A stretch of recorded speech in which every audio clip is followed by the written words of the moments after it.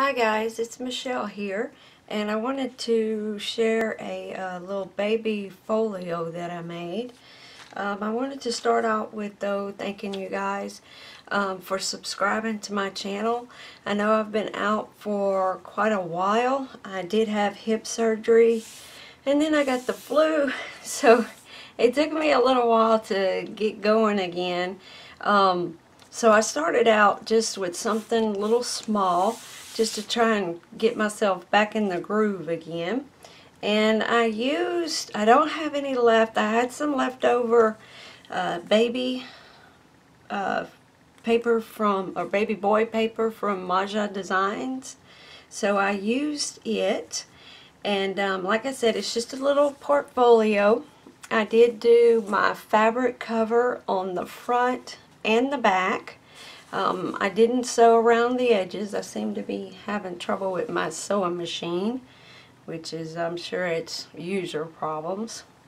So I have a cutout on the front and just layered some of the paper. And I have um, some little flowers here and some little daisies around the corners. And it does have a, um, a, a ribbon tie closure. And the spine, if you've seen any of my other fabric albums with the curved, um, it's just a chipboard um, spine. Okay, now when we open it up, the front cover here, see if I can keep everything in frame, we have a little pocket with a tag, some little die cuts, here and here. And then I use the cut apart from the paper. And this front tab is, or the front flap is an envelope that I used. And then I used another die cut. And of course you can put um, photos and such up underneath here. On this side here, I have some little cutouts, little stars and clouds and then the top flips down room for photos here. And then the same thing this top flips up. And then both of these pages flip down flip up. And I made a little belly band with the little cut apart onesies. I didn't have a lot of this paper left so for my photo mats I just have some colored cardstock. We have some 5x7, 4x6, and 3x5 photo mats here. And this is held together with the magnet.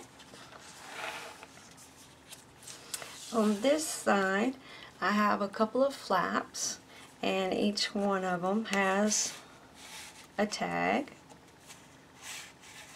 and then add some more of the die cuts.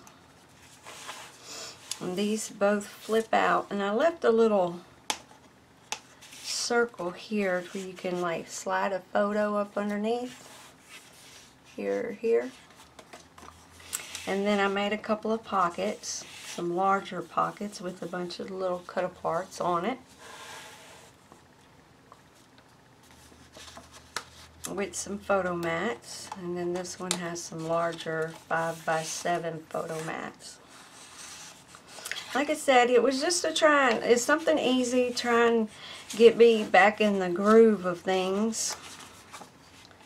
Since I've been out for so long I am about to start on a, um, a wedding album. Um, I have thought about redoing this little thing keeps coming off I have to glue that back down. I have thought about redoing this one and um, for a little baby girl. Let me get the paper. I have this Prima Marketing Heaven Sent, which probably a lot more of y'all have. So I was thinking about next either making um, a folio for a baby girl and if y'all want to see that, I also have the little ephemera that comes with it. If y'all want to see the baby girl folio, a tutorial for that, please just leave me a comment below and um, I'll be happy to show you guys that. Um, another thing I'm really excited about is my while I was sick and for Christmas, my husband made me, he redid my uh, craft room with some countertops and little cubbies and such. I'm going to try and take this off without getting you guys too... Let me see if I can zoom. Whoops. Sorry, wrong way. Alright, this table here I already had with all my little cubbies. So he extended it. Yeah, there's all my, yeah, I got a lot of junk. So, so uh, he extended the countertop throughout the whole room. And he had, we, he found these little cubbies and um, they're just made for freestanding, but he put them as the bottom support, or part of the bottom support, for my new countertop, and it wraps around my room. There's my Vagabond, my Cricut, and uh, I really, really like it. I thought it was sweet that he did this for me.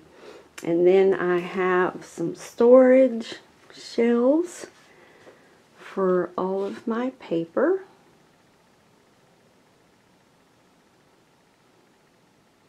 And then the other neat thing that he got me was a little holder for my sewing machine.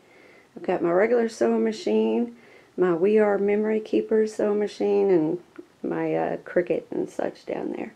And it's on wheels, and I just kind of cart it around, cart it around. So that is my new craft room I wanted to share.